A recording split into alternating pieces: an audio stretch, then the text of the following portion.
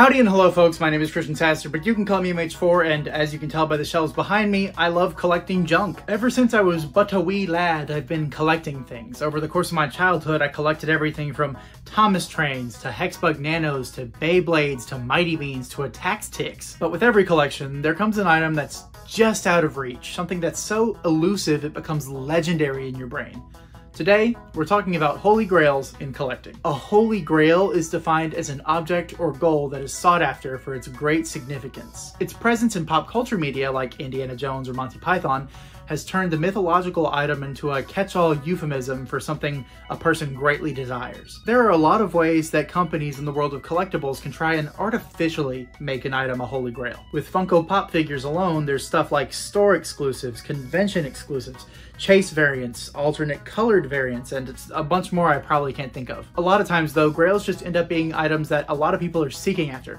Think of rookie cards for pro baseball players, or beloved classic video games, or limited productions of a unique product. And now that we've established what Holy Grails are, I need to explain to you two very important subsets of Holy Grails, an objective grail and a subjective grail. Objective grails are sought after for their monetary value or otherwise perceived worth. This may include items that were in limited print or hard to find. A great example of this lies in the gaming world with Earthbound. A loose cartridge already goes for a pancreas pilfering amount of cash, but a good condition complete in box cart with the instruction manual and all goes for much, much more. The better the condition an objective grail is, the higher price it can be valued at. On the other hand, subjective grails are grails that hold sentimental value to the person seeking it. Someone may seek out an original print Charizard, not because it's a valuable prized card, but because their parents gave them original Pokemon cards as a child. By this logic, practically anything can be a subjective grail, regardless of its objective value. Emotions, nostalgia, and, let's be honest, brand recognition are enough to turn one man's trash into another man's treasure,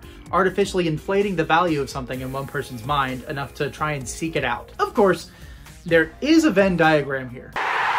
Going back to the Charizard example, it's possible that an objective grail could also be someone's subjective grail. The flexible definition of a subjective grail allows for the overlap to go as far on either end of the expensive spectrum as need be. Really, given enough time, scarcity, and nostalgia, anything can become a holy grail for collectors. It's all about supply and demand. Where there's less supply but more demand, an item's value will skyrocket. This can also apply in a more subjective way to subjective grails. Your mental state and current feelings can dictate how you feel about an item's value. If you're in a huge Mario phase, then spending 50 bucks for that complete in box gold Mario amiibo might seem like a pretty sweet deal, but once you come down from that phase, that price might not look as good anymore. One thing that's interesting to note is that it's possible for a grail to become degrailified. That is, demand drops significantly, and thus the value of an item does as well. Maybe the item got reprinted, allowing more people to get their hands on it at retail price, forcing resellers of original prints to lower their prices. Maybe the item was based on a cultural fad that's already passed, and so people with mass quantities of this item now have a harder time selling it. Maybe more people have started selling their items, oversaturating the market and making them easy to find. The specific granular economics of supply and demand are for a YouTuber with much more niche specific expertise than me, but just know that a multitude of influences can affect the perceived and objective value of an item. With all this being said, let's go into some grails that I personally want to find. While most of these are subjective grails, some of them can be a bit pricey. At the time of writing and recording this video, I have every Symbiote Studios Rivals of Aether plush except for one. Their Golden Etalus plush was only available around the time of a convention, I believe, and because of that limited availability, I was never able to get one. Thankfully, uh, I have the entire base cast, and it is a recolor of a, a plush that I already have, but dang it, I'm, it sucks knowing I'm never going to have the complete set probably. Similar to Golden Etalus, the Fazbear Fanverse Youtooz figurines are things that I wasn't really interested in at the time that it came out. At the time, I wasn't really a FNAF fan and I wasn't really a Youtooz fan, but now that I'm a fan of both, I regret not getting them. Also similar to Golden Etalus, I have a complete set of every uh, Fanverse product that's released. I have it either coming in the mail or behind me. and so it sucks knowing that unless I get a great deal on eBay, I may never have a truly complete set. And for the last thing I'm going to mention, it's another set completing item, and it's another thing that's very hard to get a hold of It was the Splatoon 2 promotional Wet Floor CD given out at Tower Records in Japan. Back in 2017 when Splatoon 2 was coming out and they did the cross promotion with Tower Records, they had a CD with a few Wet Floor songs on it, including a uh, live performance of Incoming with like uh, a, a, different uh, band. This super unique CD is one that I really want to get my hands on very badly, but because of the CD's general obscurity and because of the regional differences, it's going to be very hard to get it at a comfortable price. Thankfully though, I do have quite a bit of uh, personal grails on hand that I was very fortunate to be in the right place at the right time to receive. First off, we got the ARMS comic. As the world's only last living ARMS fan, I have to have this legally by law mandated. Before Dark Horse quietly shelved their ARMS comic adaptation, this was giving out for free comic book day in 2018. Guys, it's still coming in January 2019. This gives us a look at Springman's backstory and gives us the lore that there's more than one Springman. Uh, Springman that's in arms is the third, but you don't care about that. Uh, I was very lucky to get this on eBay at a great price. And you know, I'm very thankful to have this piece of ARMS history because that game is very important to me. Next is the Friday Night Funkin' Kickstarter vinyl. Uh, I'm a big fan of Friday Night Funkin' and I backed the Kickstarter, but I only backed it for the CD because I don't have a record player. However, in December of 2022, Needlejuice Records uh, announced they had about 600 extra copies of the Kickstarter variant, and I was like, shoot, I gotta get one! While they're still available at the time of writing and recording this, I am just very happy that I snagged one and that I jumped on it because uh, having a piece of this game's history, like like with Arms, it's it's having a piece of the the history like physically with me, right?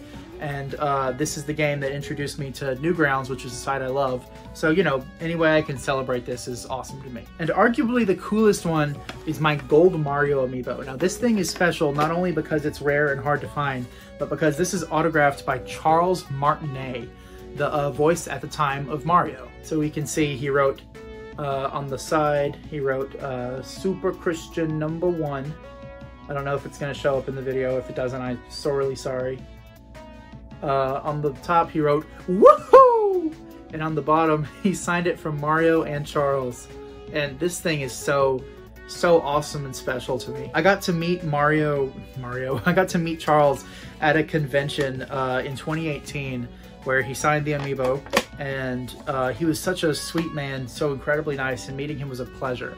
This amiibo is incredibly just a sentimental thing, but it holds a lot of value to me because it's a great memory going with my uh, mom and my grandmother to that convention and meeting a very uh, talented and kind individual who, you know, helped bring the childhood of millions to life.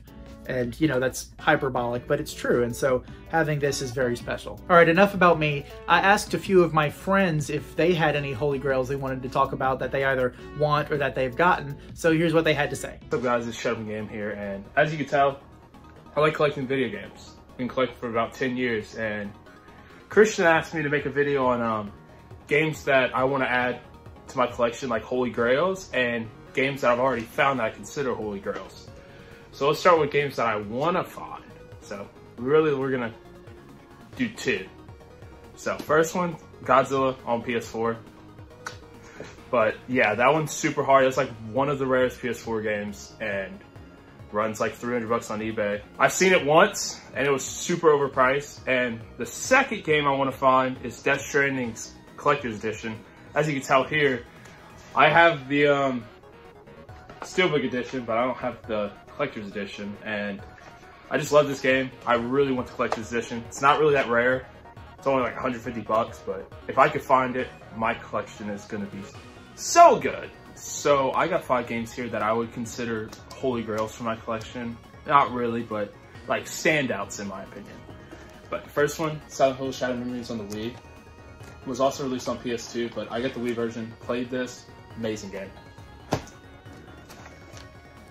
Sealed copy of The Last of Us on PS3. Found it for like five bucks at a flea market, but love The Last of Us. Will never open this. Will stay in my collection forever. Gravity Rush on PS4. I love Gravity Rush on the Vita. I actually have it. Right here, but I um got the PS5 or the PS4 version and played it twice. I played on that and on this and absolutely love that game. Sealed copy of Joe's Diner. Yeah, this one's kind of a joke within my friend group, but it's kind of rare. It's really hard to find out, even on eBay. But Joe's Diner. And lastly is Fortnite, the Save the World disc. It has the codes in it, but someone used the codes sadly. But awesome. Probably like the standout of my collection is this. It's probably only worth like a hundred bucks, if that. But who wouldn't want to own a copy of Fortnite Save the World? But yep, that's five girls from my collection. Thank you, Christian, for having me on this part. Hey guys, it's Emmy, from such games as Metroid Dread and I too collect dumb little trinkets that have no value. Specifically, Nintendo's favorite nope not even close. One of Nintendo's ways to siphon money from people like me, Amiibo. I have like 20 of these things but I always want more. I particularly hope that the Mega Yarn Yoshi Amiibo suddenly appears at my doorstep one day. It's extremely rare because one, just look at it, it's awesome, and secondly, it was Toys R Us exclusive and as you might know that. So the prices are way too high. Another one I've got my eye on is the Wolf Link amiibo that came bundled with Twilight Princess HD on the Wii U. This guy summons a wolf pet in Breath of the Wild, which is a neat feature. Out of the rarest ones that I do have, I believe that Pokemon Trainer and Pichu are the rarest, or at least go for the most on resale. I got Pichu when I got my copy of Pokemon Platinum, and I got Pokemon Trainer from a collectibles shop. As for Amiibo with emotional attachment, this was my first Amiibo, and I got Pink Yarn Yoshi when I met this Kuba. He's even the one who said I should buy it. In the end, Holy Grails for collectors really do mean a lot. Someone's prized possessions and what they're collecting can tell you a lot about who they are and what their interests are. And they provide a goal for collectors to try and reach, you know, something to aspire to. Let me know what Holy Grails you're looking for in the comments, and I hope you find them one day. Thank you sincerely for watching, and I hope to see you next time. Take care, and happy hunting!